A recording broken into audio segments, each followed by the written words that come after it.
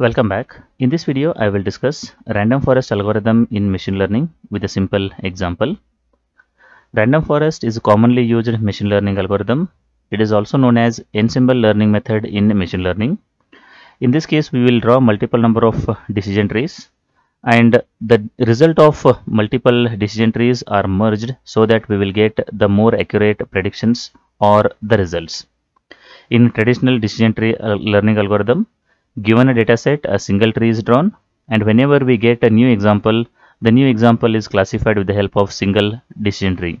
But when it comes to random forest, we will draw multiple number of trees and the new example is given as an input to the, each of those particular decision trees in random forest and then uh, we will make the better prediction based on the results of each of those particular decision trees in the random forest. Random forest became uh, popular because of its easy to use as well as flexibility in handling both classification as well as the regression problems. I have discussed what is classification and regression problems. The link for those particular videos is given in the description below.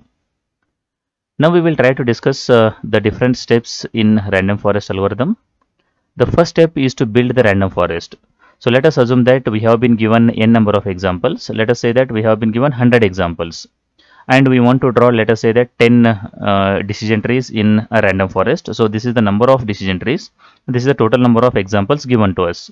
Now what we do over here is we will select n number of examples. Let us say that uh, we want to select 30 examples for each of those uh, decision trees. So what we do here is first we will select 30 examples out of 100. So that will become you can say that n1 uh, that will be the first training example for the first decision tree.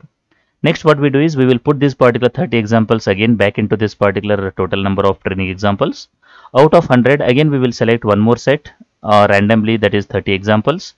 Once you select one more set we will put those examples again back into this uh, training set and then we will select another 30 examples and so on 10 times or 10 sets we will select here. So whenever we select uh, uh, some examples or a subset of examples randomly, we will put them back into the training set over here. So once you do this part, I think the second step is to select the input variables. Let us assume that we have some uh, 10 input variables.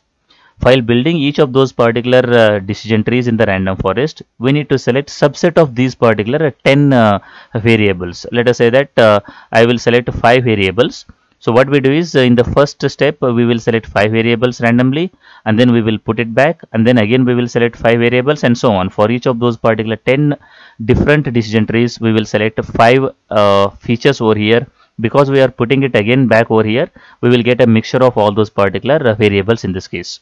So once you get the training set for all 10 decision trees and the feature uh, features or you can say that the input variables. Next what we do is uh, we will build the decision tree using the decision tree algorithm. So once you build the decision trees of random forest, whenever we get a new data point, we give that new data point as an input to that particular uh, random forest that is uh, each decision tree in the random forest. So in this case we have 10 number of decision trees in the random forest. Each of those particular 10 decision trees will make 10 different uh, predictions over here. Now the question is how to assign the uh, label to this particular new data point. So what we do over here is if it is a classification kind of problem, we will take majority of that particular uh, 10 decision trees. The one which is having maximum votes that will be selected as a label for this particular new example. If it is a regression kind of problem, then we will take the average of uh, 10 decision trees predictions that will be considered as the final uh, uh, case over here. This is the diagrammatic uh, representation of uh, random forest algorithm.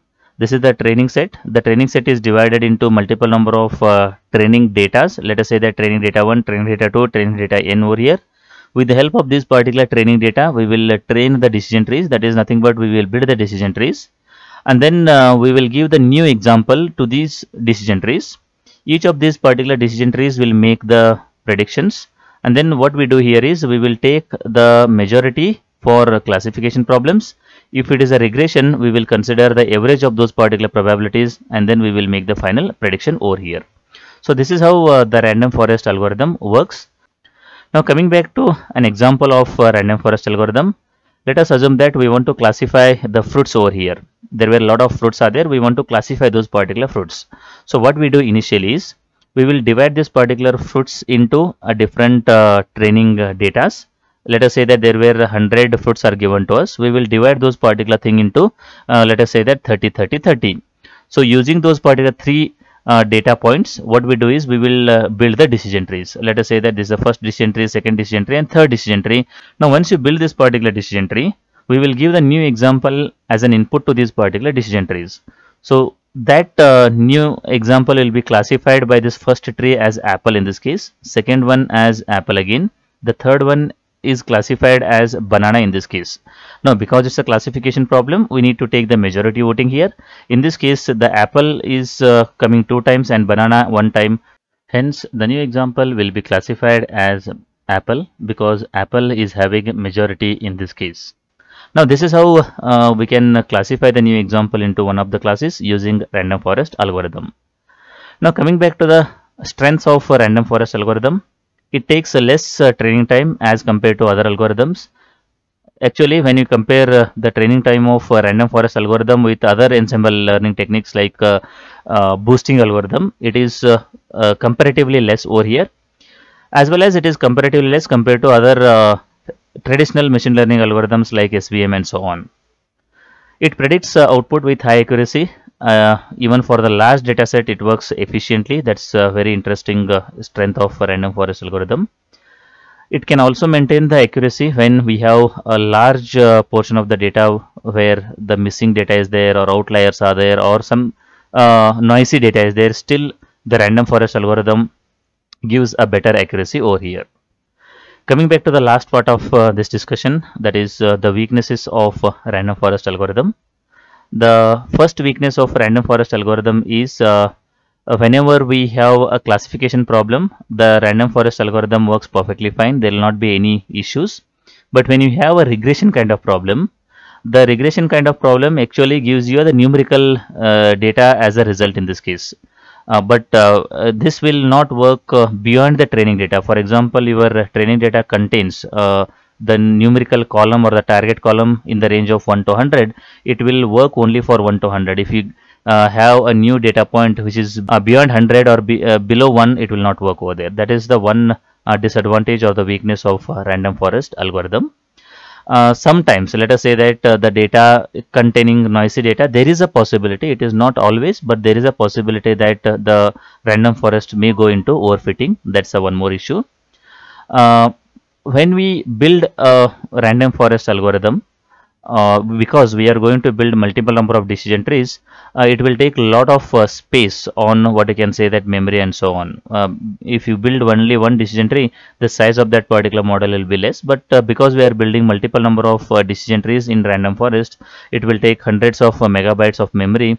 And there is a possibility that it will become slow at the time of testing or deployment of that particular model in this particular case the last uh, weakness of a random forest algorithm is uh, it's a black box kind of a thing. Uh, what is actually happening within that particular algorithm is very difficult to uh, analyze. Uh, and which particular uh, decision tree has made what kind of decision whether it is correct or wrong that particular kind of questions were not been answered by this particular random forest algorithm. So these are some of the weaknesses of random forest algorithm.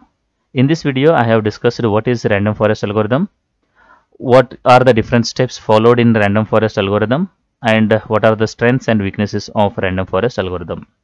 I hope the concept is clear. If you like the video, do like and share with your friends. Press the subscribe button for more videos. Press the bell icon for regular updates. Thank you for watching.